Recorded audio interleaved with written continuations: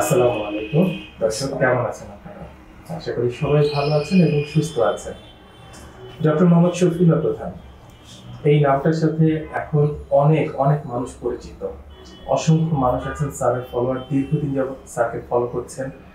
অনেক পেশেন্ট আছেন আমাদেরকে এস এম এস করেন বা ফোন করেন ইমেল করেন যে তাদের প্রবাসে আছেন বা ঢাকার বাইরে আছেন, অনেক দূরে আছেন।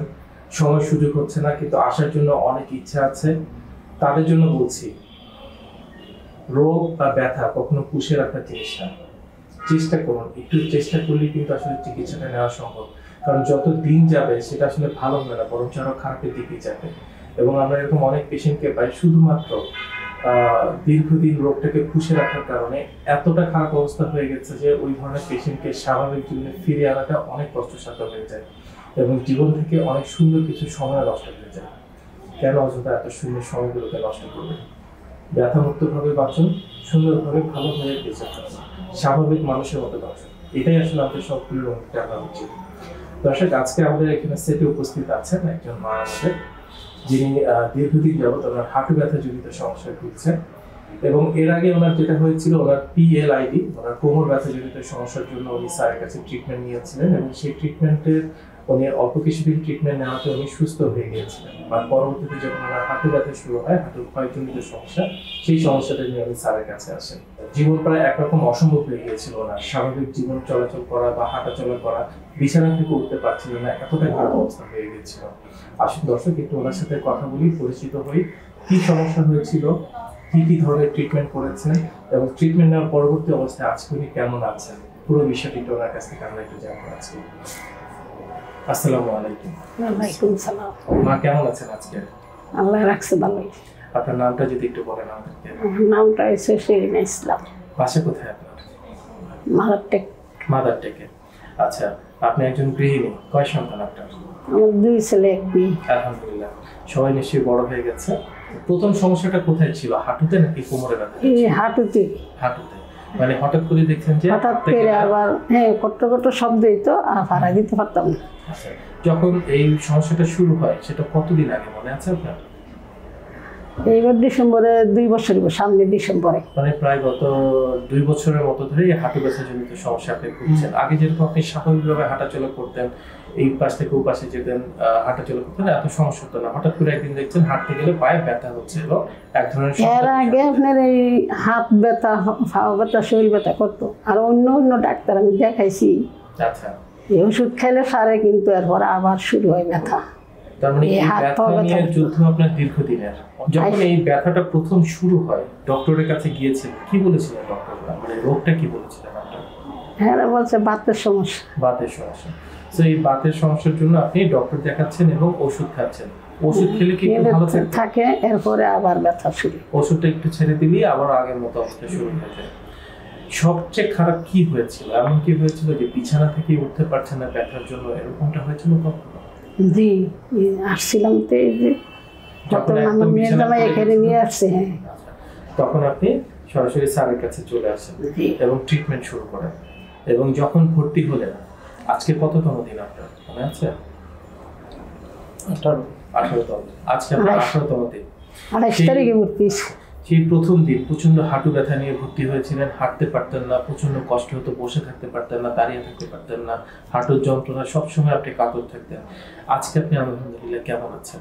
ইনশাল্লাহ ভালো। এখন কি একটু হাঁটাচলা করতে পারছেন? পারি। প্রচণ্ড সেই হাঁটুর ব্যথা কি এখন আছে? না। অনেকেই আছেন হয়তো জানেন না কোথায় গেলে একটা ভালো চিকিৎসা পাবেন? তাদের জন্য কিছু বলবেন আপনি? বলব সবাই তেমনি জানে যে মোবাইলে সার্ভিস সবাই জানে ওনার সারে সবাই জানে। কেন বলবেন তাদেরকে? কারণ আপনি নিজে এসে আপনি ভালো একটা হ্যাঁ চিকিৎসা পেয়েছেন। ওদেরকেও বলব জি। দর্শক শুনলেন আমাদের এই মায়ের কথা। আমরা এখানে ওনার ছেলেকে পেয়েছি যিনি সেই প্রথম থেকেই সবসময় ওনার মায়ের ব্যাপারে উনি কনসার্ন ছিলেন এবং চিকিৎসার বিষয়ে কখনো আপোষ করেন যখনই সমস্যা হয়েছেন যখনই ওনারা চিকিৎসা করিয়েছেন। আসলে একটু ওনার ছেলের কাছ থেকে একটু শুনি। জি আসসালামু আলাইকুম। ওয়ালাইকুম আসসালাম ভালো আছেন? জি আলহামদুলিল্লাহ ভালো আছি। আপনার ভালো আছেন? আলহামদুলিল্লাহ জি আমার শাশুড়ি আর কি জি জি। আচ্ছা, ছেলের মতোই অবশ্যই ছেলে। দীর্ঘদিন যাবত আমরা জানি যে উনি কোমর ব্যথা এবং হাঁটু ব্যথা জনিত সমস্যা নিয়ে ভুগছিলেন এবং এটার জন্য আপনারা অনেক জায়গায় অনেক ডক্টরও দেখিয়েছেন। যখন ওই সময় আপনার কথা যদি আমাদেরকে একটু বলে যে কেমন দেখতেন ওই সময়টা ব্যথার জন্য কেমন উনি আপনাদেরকে বলতেন বা কি ধরনের কন্টেন্টগুলো উনি করতেন সাধারণত? প্রথমে আসলে অনেক দিন থেকেই ব্যথায় কষ্ট করছিল বাসায়। তারপরে অনেক ডাক্তারই দেখাইছে দেখানোর পরে ডেভেলপমেন্ট হয়তো সাময়িকভাবে হয়েছে পুরো সন্তোষজনক হয়নি। হ্যাঁ তো তখন আমি বলছিলাম যে আমার পরিচিত একজন ডাক্তার আছে শফিউল্লাহ স্যার আমি শুনছি উনি এই পাত ব্যথা নিয়ে কাজ করে আর কি। তো আমি সাজেস্ট করছিলাম। তো আলহামদুলিল্লাহ নিয়ে আসছিলাম। নিয়ে আসার পরে তখন তো একেবারেই খারাপ অবস্থা ছিল বিছনায় ছিল। হ্যাঁ বিছনা থেকে নামার ইয়াটা ছিল না। হ্যাঁ, হ্যাঁ, হ্যাঁ। তো নিয়ে আসছিলাম ভর্তি করলাম মার্শাল্লাহ আট দিনের দিনে মোটামুটি নিজে সুস্থ হয়ে আসলো। তো স্যার আমার একটা কথা বলছিল আমার এখনও মনে আছে এবং থাকবেও যে আমার নাম ধরে বলে রেজা তা আপনার শাশুড়িকে তো এখন শেষ করে নিয়ে আসছেন। সেটা আগে নিয়ে আসতেন শেষ অবস্থায় নিয়ে আসছেন। তো মার্শাল্লাহ আট দিনের দিনে আল্লাহ তালার ইচ্ছাই হয়তো ওনার অক্লান্ত পরিশ্রম মেধা শক্তিতেই হয়তো আল্লাহ তালাই ভালো করছে। হেঁটেই গেছে আবার। তো পরবর্তীতে এক দেড় বছর ভালো থাকছে আবার এখন একটু অসুস্থ ফিল করছে। হ্যাঁ হ্যাঁ তো এবার ভর্তি হয়ে আমার সতেরো আঠারো দিন। তো মার্শাল্লাহ এখন আবার কি বলব যে প্রশংসা না এটা বাস্তব সত্য কথা যেটা যে ওনার মেধা, ওনার শক্তি, ওনার চেষ্টা, ওনার মনোবল, ওনার অফিস, ওনার সেট আপ ম্যানেজমেন্টগুলো এত সার মানে সেবামূলক পরিবেশ সবে আমার সন্তোষজনক। আর আমি যারা রুগী আছে, যারা কষ্ট করে, তাদেরকে সবাইকেই বলব, আসলে টাকা থাকলেও হয় না। একটা মনের মতো মানুষ পাওয়া যায়। যেমন শফিউল্লাহ স্যারের কাছে সরাসরি ফোনে কথা বলা যায়। তারপরে ওনার সাথে দুই মিনিট কথা বললে মনের একটা ক্লান্তি দূর হয়ে যায়। বর্তমান ডাক্তাররা তো সময়ই দেয় না কথাই বলতে পারে না। প্রেসক্রিপশন লেখে আরেকজন উনি সিগনেচার করে দেয় ট্রিটমেন্ট দিয়ে চলে যায়। কিন্তু উনি পাঁচটা কথা শোনে বলে বুঝায় সাহস দেয়। ওনার কথাতেই হয়তো অনেকটা রোগী আশ্বস্ত বোধ করে সুস্থ হয়ে যায়। এবং এক্স্যাক্টলি আসলে ওনার কি সমস্যাটা সেটা ওনারা খুব ভালো করে জানতে পারেন। ভালো করে জানতে পারে। তো সেই হিসাবে আমি মোটামুটি সন্তুষ্ট এইখানে আসার পরে আমি দেখছি আমার শাশুড়িকে মোটামুটি অনেকটাই ডেভেলপমেন্ট হয়েছে ইনশাল্লাহ আমি আর একটা জিনিস আমি সফুল্লাহ স্যারের উদ্দেশ্যে বলতে চাই স্যার আপনি আপনি এই সেবামূলক এটা? প্রফেশনাল না হলে সেবামূলক। এটা চালিয়ে যাবেন এবং এটা যতদিন আল্লাহ তালা আপনাকে হায়াতে দাজে রাখে আপনি ভালো করেই করবেন। কারণ এটা একটা মানুষ অসুস্থ যখন বিছনায় পড়ে যাচ্ছে তখন আপনার স্বর্ণপন্ন হয়ে আসছে। আল্লাহ তালার রহমতে আপনার সেবায় আপনার মেধাতে আবার সে হেঁটে চলতে ফিরতে পারতেছে। এটা বিশাল একটা সবের ব্যাপার। অবশ্যই। মানবিক সেবার উপরে কোনো সেবা নাই।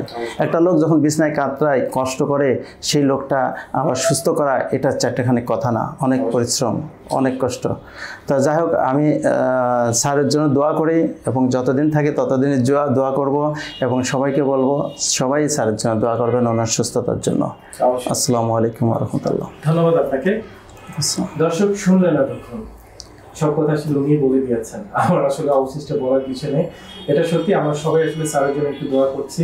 কারণ এরকম অসংখ্য হাজার হাজার মানুষ আছেন যাদের মুখে হাসি ফুটে উঠেছে, ব্যথামুক্ত জীবনে তারা ফিরে যেতে পেরেছেন। স্যার যাতে তার এই মেধা সারা জীবন কাজে লাগিয়ে, স্যারের অভিজ্ঞতা কাজে লাগিয়ে আরও এরকম হাজার হাজার লাখ লাখ মানুষ যাতে সুস্থ, স্বাভাবিক জীবনে ফিরে যেতে পারে, তার জন্য আমরা অবশ্যই দোয়া করব স্যার যাতে সুস্থ থাকেন এবং ভালো থাকেন।